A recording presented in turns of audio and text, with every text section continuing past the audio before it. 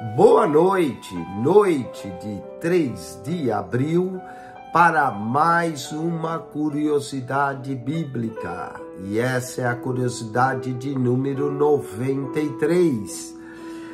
Vamos a curiosidades teológicas que nós estamos falando. Você acha que Jesus foi muito duro quando chamou o pastor de Laodiceia de infeliz, miserável? Pobre, cego e nu? Vamos ver isso.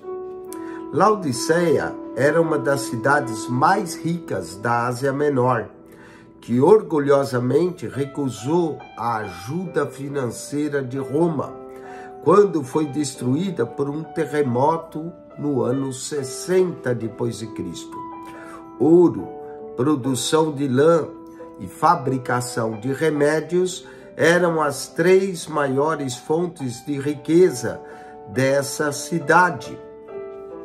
Jesus condenou a autossuficiência do pastor de Laodiceia por se orgulhar de pastorear uma igreja rica. Apocalipse 3,17. Jesus chamou de infeliz porque a riqueza material dos laudicenses não os deixaram ser felizes. Jesus chamou de miserável, porque não repartiam suas riquezas com os irmãos das igrejas pobres.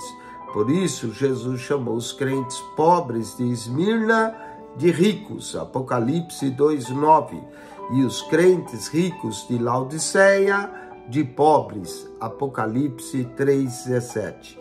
Jesus os chamou de pobre porque eram ricos materialmente, porém pobres espiritualmente. Mesmo negociando ouro em seu famoso centro bancário, os crentes de Laodiceia precisavam negociar com Cristo o verdadeiro ouro refinado pelo fogo. Somente assim seriam tidos como ricos. Apocalipse 3:18. Jesus o chamou de cego porque, embora se negociasse em Laodiceia uma substância farmacêutica que era reduzida a pó misturado com água e aplicada aos olhos, todavia os crentes e seu pastor continuavam cegos espiritualmente. Precisavam comprar de Jesus colírio para ungir os olhos, pois somente assim seriam curados da falta de visão espiritual. Apocalipse 3:18. Jesus o chamou de nu, porque embora se produzisse em Laodiceia muita lã para fabricação de roupa, os crentes de Laodiceia continuavam nus espiritualmente.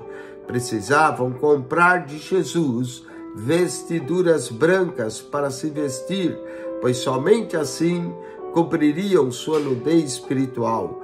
Leia cuidadosamente Apocalipse 3, 17 e 18.